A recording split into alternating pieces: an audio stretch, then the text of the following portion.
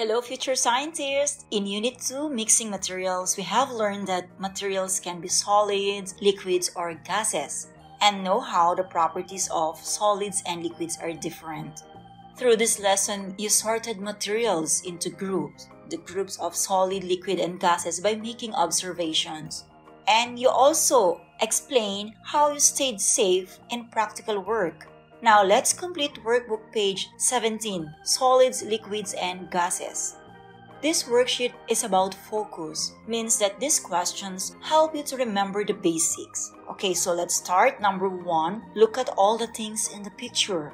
Label the things as solid, a liquid, or gas.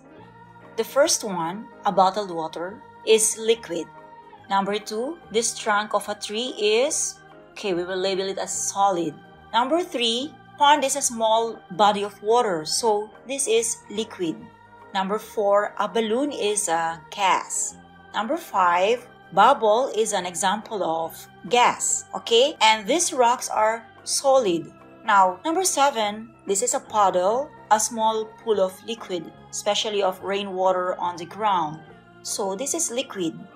Number 8 slide is uh, usually made of metal, plastic, or fiberglass. Slide also is an example of solid. Workbook page 18. It is an application of what you have learned about sorting materials. When we sort, we group or classify objects together with similar properties. Now let's practice. So these questions help you to become more confident in using what you have learned. We will sort these materials into solid, liquid, and gas groups, and then add another material to each group. Okay, this brick will go to the solid group. Shampoo is mostly water, so it is a liquid.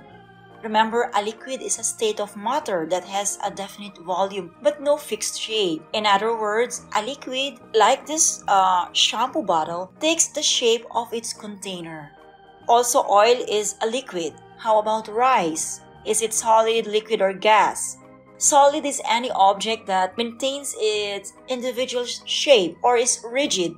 Now, when rice is poured in a container like a cooking pot, numerous rice particles are poured, but rice is still a solid as the individual rice grain maintains its shape. So, rice is solid. Oxygen is a gas, so we will put it here. As a property of gases having no shape and volume, oxygen do not have a fixed shape or volume. It flows from areas of higher to lower concentrations, hence, for these reasons, oxygen remains as gas. Air is the invisible mixture of gases that surrounds us.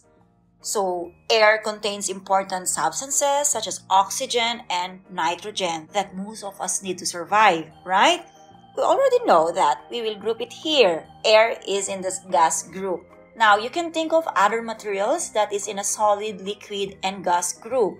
For solid, a table is very rigid and cannot be compressed. It has the characteristics of a solid with a definite shape and volume. I have uh, written here milk. It is an example of liquid because it has no shape. It takes the shape of the container it has no volume. So it takes the volume of the, the container the packaging or the pack or the bottle in which it is kept. For the gas group okay i have here a balloon. Why balloon? Because you know the actual balloon is a solid but the air inside is a gas.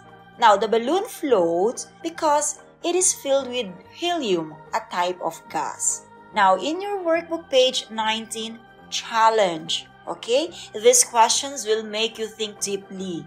Number three, use these words to finish the sentences liquid, solid.